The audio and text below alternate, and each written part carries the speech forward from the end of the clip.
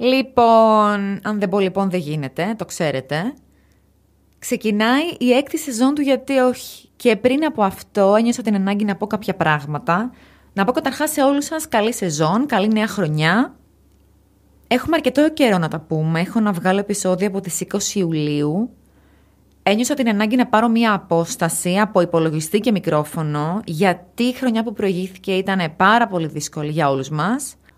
Θέλω να σας πω ότι το Μάιο πέρασα επεισόδιο κατάθλιψης και μάλιστα πριν ε, το πω στο μικρόφωνο το σκέφτηκα, αλλά επειδή δεν θέλω να τα λέμε μόνο ότι το γιατί όχι είναι μια εκπομπή που θέλει να καταπολεμήσει το στίγμα γύρω από την ψυχική υγεία, ήθελα να το λέω, γιατί αν είχα σπάσει το πόδι μου θα το έλεγα και θα μου λέγατε όλοι περαστικά κλπ. κλπ.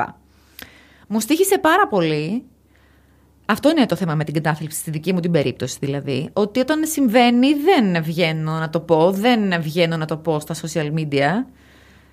Και μιλάω ευχάριστα και αυτό τώρα που έχουν περάσει και τρεις μήνες κοντά. Αλλά όταν συμβαίνει τα πράγματα είναι λίγο ζώρικα.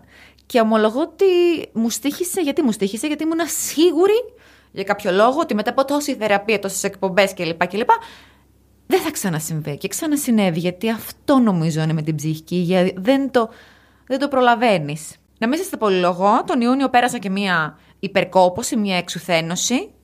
Σίγουρα έχει να κάνει η καραντίνα με όλο αυτό και η πανδημία. Οπότε είπα δέσποινα, όπα λίγο, λίγο θα πάρουμε μία παύση τώρα. Και να με τώρα εδώ. Το Μάιο, επίσης θέλω να σας πω για αυτούς που δεν έχετε social media ή δεν έχετε λάβει το newsletter, ότι το γιατί όχι έγινε το πρώτο ελληνικό podcast που ξεπέρασε τα 1 εκατομμύριο downloads Μάλιστα και μια Αμερικάνικη εταιρεία το δημοσίευσε στο νούμερο ένα podcast στην Ελλάδα και αυτό μου το στείλατε εσείς στο Instagram και στο Twitter, εγώ δεν το είχα δει. Και επίσης έγινε μια περισσότερη προβολή από το συνηθισμένο για μένα και για το γιατί όχι το επόμενο τρίμηνο και ευχαριστώ πάρα πολύ τους ανθρώπους που μου δώσανε προβολή και με φιλοξενήσανε και στην ΕΡΤ και στο Αθηναϊκό Πρακτορείο Ειδήσεων και διάφορα άλλα. Ξεχνάω τώρα. Ευχαριστώ πάρα πολύ για να γίνει πιο γνωστό το γιατί όχι. Το μεγάλο ευχαριστώ όμως είναι για σας, όχι μόνο γιατί ακούτε και γιατί το λέτε στους φίλους σας, γιατί μου έχετε στείλει πάρα πολλά μηνύματα και emails, στέλνετε καθημερινά για το πώς βιώνετε το γιατί όχι, για το πώς έχετε πάρει αποφάσεις με αφορμή εκπομπές του γιατί όχι, για αυτή την κοινότητα που δημιουργείται γιατί χωρίς να το ξέρω, εκείνη η στιγμή έβρικα για μένα. Αυτό δηλαδή είναι μια σκέψη που κάνω εκ των υστέρων. Δεν το έκανα τότε. Γιατί ένιωθα, ένιωθα τότε ότι είμαι άλλη, ότι κάτι δεν πάει καλά με μένα. Ζω και σε μια υποκριτική πόλη, τη Θεσσαλονίκη.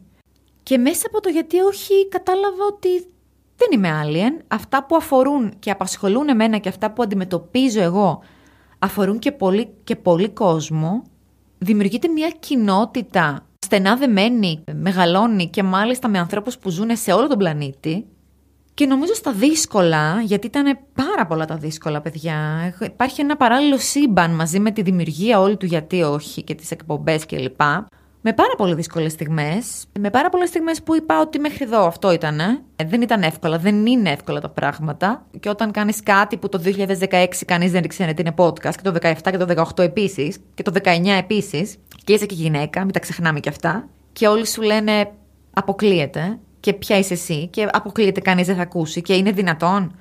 Ή ακόμα και τώρα, όταν σε αντιμετωπίζουν σε πάρα πολλά ραντεβού για πωλήσεις, διαφημίσεις, γιατί πρέπει να έρθει διαφήμιση στο γιατί όχι, για να μεγαλώσει η ομάδα.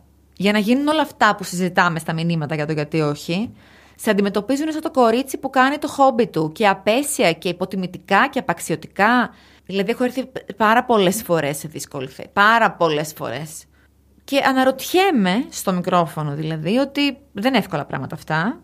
Αλλά θα μπορούσαν αυτά να γίνουν λίγο με μια ευγένεια. Δηλαδή, Προφανώς και όσο μεγαλώνεις, μεγαλώνεις, παύλα εξελίσσεσαι, λέμε όχι και ακούμε. Πρέπει να λέμε όχι και να ακούμε όχι. Διαφορετικά κάτι δεν πάει καλά. Σημαίνει ότι είσαι σε μια ζώνη ασφάλειας, άμα δεν ακούς όχι και δεν λες όχι. Απλά αυτά τα όχι μπορεί να τα λέμε με έναν ευγενικό τρόπο.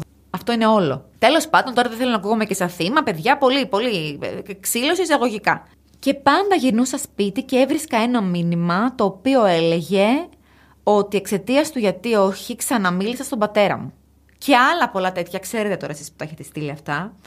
Και έπαιρνα δύναμη ότι αυτό έχει νόημα να συνεχιστεί, έχει νόημα να μεγαλώσει, να γίνουν και άλλα πράγματα από το γιατί όχι. Και όσον αφορά στη διαφήμιση του γιατί όχι, να πω ότι ήρθε τον προηγούμενο Σεπτέμβριο και ήταν μεγάλη ανακούφιση για μένα και ήρθε ανέλπιστα κιόλας. Και ευχαριστώ πάρα πολύ τις εταιρείες που με εμπιστεύτηκαν, γιατί τους εμπιστεύτηκα και εγώ. Οι εταιρείες που θα συνεργαστώ θέλω να είναι άνθρωποι που πιστεύουν σε μένα και πιστεύω και εγώ σε αυτούς και στην κουλτούρα που έχουν στην εταιρεία. Όπως καταλαβαίνετε, έχω πει και όχι για διαφημίσεις το γιατί όχι. Δεν γίνεται να μιλήσω για πράγματα που δεν πιστεύω. Δεν γίνεται. Είναι τόσο απλό. Κάνοντας έναν μήνυ απολογισμό πάντως, γιατί εγώ πάντα τον Αύγουστο κάνω έναν μήνυ απολογισμό, είναι πολύ υπαρξιακός. Είναι πολύ υπαρξιακός και βαρύς ο Αύγουστος για μένα, δεν ξέρω για εσάς. Στείλτε μου ίσως στα social media. Σκεφτόμουν εκείνη τη φωνούλα των πρώτων εκπομπών και όσοι έχετε ακούσει, ίσως καταλαβαίνετε για τι πράγμα μιλάω, που πήρε πολλά χρόνια να γίνει η φωνή που ακούτε τώρα αυτή τη στιγμή στο μικρόφωνο. Ε, πρέπει να γράψω παιδιά βιβλία για τα μαθήματα που έχω πάρει και μη σας πω θα γράψω βιβλίο τώρα που το σκέφτομαι. Ήμουνα τότε αφελής, αδαής, δεν ήξερα τι με περιμένει. Παιδιά, νομίζω ότι έχει του προτάρι. Δεν είναι κάτι περισσότερο από το γεγονός ότι εσύ δεν ξέρεις που πας και χτυπάς το κεφάλι σου στον τοίχο. Ενώ οι άλλοι που σου λένε τα όχι, και αυτοί όχι τίποτα άλλο, γιατί μετά από πέντε χρόνια παύση, τι να μου λέγανε εμένα. Μπράβο, να πάμε, θα, θα, θα το καταφέρεις. Επειδή ξέρουν ότι εσύ θα χτυπήσεις το και θα φας το, το, το κεφάλι σου, σου λένε όχι. Ενώ εσύ, επειδή δεν ξέρεις τι σε περιμένει, πας βουρ και χτυπά και κοπανιέσαι στους τοίχους. Κάπως έτσι έγινε. Αλλά και πεισματάρα, παιδιά.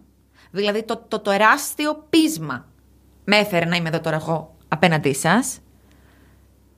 Και τον τελευταίο χρόνο μόνο μπορώ να σας πω για τα όχι που ακούω λέω από μέσα μου.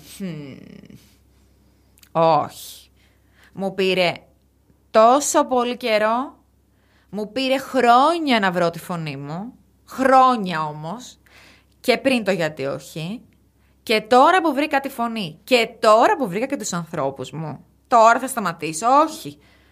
Τώρα δεν υπάρχει, δεν υπάρχει περίπτωση και θα με θυμηθείς εσύ που μου λες όχι. Και όπως έχει συμβεί θέλω να σας πω. Και φυσικά σε όλο αυτό ήταν συνοδοιπόροι οι γονείς μου, έτσι να το πω πάλι. Το λέω σε κάθε φορά, κάθε φορά που μου ζητάνε συνέντευξη. Όχι χωρίς γκρίνια, παιδιά, να το πω και αυτό.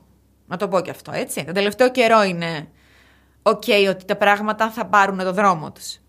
Και το πιο επαναστατικό πράγμα που έκανα είναι να μην τα παρατήσω. Από την εισαγωγή αυτή το μόνο που θέλω να σας πω είναι αυτό. Το ευχαριστώ που δεν είναι αρκετό. Δεν είναι αρκετό το ευχαριστώ. Δεν έχω κάνει καμία διαφήμιση στο γιατί όχι. Η μόνη διαφήμιση είστε εσείς που βγήκατε και το είπατε στους φίλους σας και στείλετε επεισόδια να ακούσουν. Νομίζω όποιον ρωτάω πώ έμαθες για το γιατί όχι, όλο του, του, τους σου είχε πει κάποιος άλλος. Και για μένα αυτή είναι η μόνη διαφήμιση που με αφορά. Δεν θέλω να σας πω ότι θα ξεκινήσουν διάφορα, δεν θέλω. Θέλω να ξεκινήσουν και να ανακοινωθούν.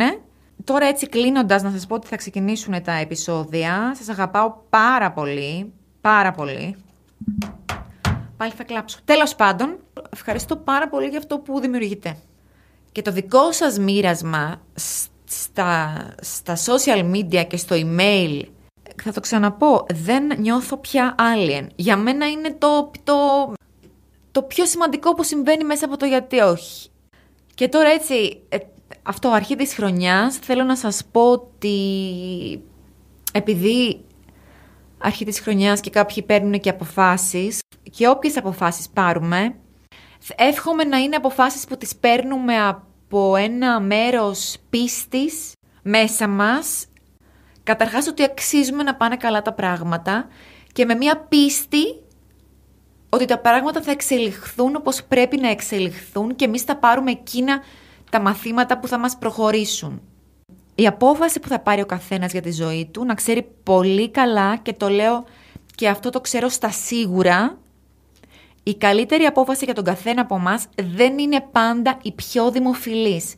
Κλείστε τα αυτιά σας στο θόρυβο που δημιουργούν οι άλλοι και πάρα πολλές φορές άθελά τους, ξαναλέω άθελά τους, και πίστη στις δυνάμεις σας και αυτογνωσία. Πάλι σας ευχαριστώ πάρα πολύ όλους όσους έχετε επικοινωνήσει μαζί μου με οποιοδήποτε τρόπο. Εσάς που έχετε αφήσει review στο Apple Podcast, Βοηθάει πάρα πολύ αυτό με τα αστεράκια. Τους ανθρώπους που μου δώσανε προβόλη, τις εταιρείες που έχουμε συνεργαστεί, έρχονται πολύ ωραία για το γιατί όχι. Και να πω και κλείνοντας, να το πω και αυτό, γιατί από τότε που τους είπα ότι θα το πω στο μικρόφωνο, δεν έχω κάνει εκπομπή. Τους γιατρούς Μενέλεο Πατρίδη και Παναγιώτα Κουγιουμτζή στο νοσοκομείο Πάπα Γεωργίου. Γιατί, παιδιά, μετά το εμβόλιο Μοντέρνα είχα βγάλει ένα καρούμπαλο στο κεφάλι τρεις φορές στη διάρκεια των δύο δόσεων και λίγο αναστατώθηκα. Έχω πήρα και τον όλα μια χαρά όλα υπό έλεγχο. Απλά πήγα να το τσεκάρουνε και ήμουνα λίγο φρικαρισμένη, αλλά όλα καλά. Καταπληκτική και οι δύο δεν έχω λόγια. Δεν έχω λόγια. Τους χαιρετώ και τους στέλνω μεγάλο φιλί και καλή χρονιά και σε αυτούς. Καλή έτσι, σχολική χρονιά σε όλους μας. Αυτά. Και γραφτείτε στο newsletter του γιατί όχι και social media και αυτά. Σας αγαπώ πάρα πολύ παιδιά, αλήθεια. Φιλιά πολλά.